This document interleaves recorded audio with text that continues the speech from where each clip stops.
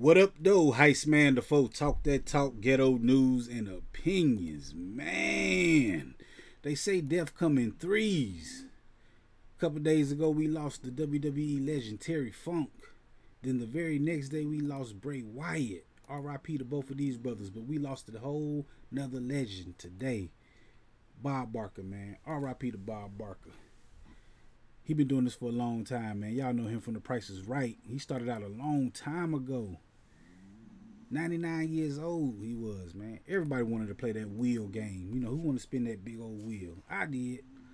Um, I wanted to play the Plinko game. My favorite part probably was the yodeler though. Yo, yo, yo, yo. Y'all remember that? And he used to fall off. That used to be the shit, man. I used to love that. But yo, this is the last time I seen him right here when he um retired and you know he was getting up in age. I don't even know how he passed away. I, he probably passed away from old age or something, man. I don't know. He was 99 years old. Um, it's been a long time though. I think we had him on. We didn't have him on the show, but on the show we do every Friday, we do the thing called a Deadpool back in 2020, and this what it was right here. We had him. We picked him, and he surpassed 2020. You know. R.I.P. to him though, man. Um, yo, y'all remember him being in um Happy Gilmore alongside Adam Sandler? Gave him the business. Y'all remember that? They was going at it. Mm, mm, mm. The price is wrong, bitch. Y'all remember that, man. But yo, he passed away today. 99 years old. They ain't saying how he did it, man. I just looked up on Twitter and was like, RIP the GOAT. I'm like, oh, man, come on, Bob Barker. It's like, man, they getting all the legends out the way, man. It's sad, yeah.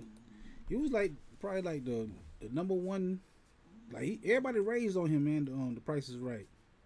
He probably like the number one show host for our generation, alongside um, Pat Sajak and Alex Trebek. You hear my dog in the background, all that that breathing reminds me of Bob Barker. You always say, "Have your pet spayed and neutered" at the end of his show.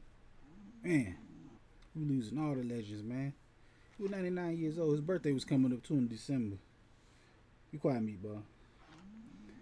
Anyway, man, R.I.P. to Bob Barker. Hold on, man.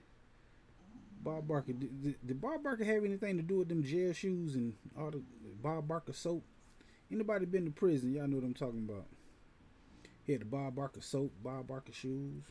We ain't gonna talk about that, man. We ain't gonna put no slander on his legacy. He had to make his paper. But anyway, like I said, man, I go live in the channel every Friday, man. Y'all come through and holler at me. Hit that like button, the comment button, the share button, the subscribe button, the notification bell. All them good buttons you gotta hit to get this paper that I'm putting out when I put it out. R.I.P. Bob Barker.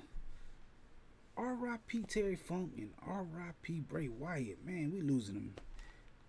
I don't even want to see what's gonna happen tomorrow, man. It's crazy. Anyway, man, I go live on the channel. Come through and holler at me, man.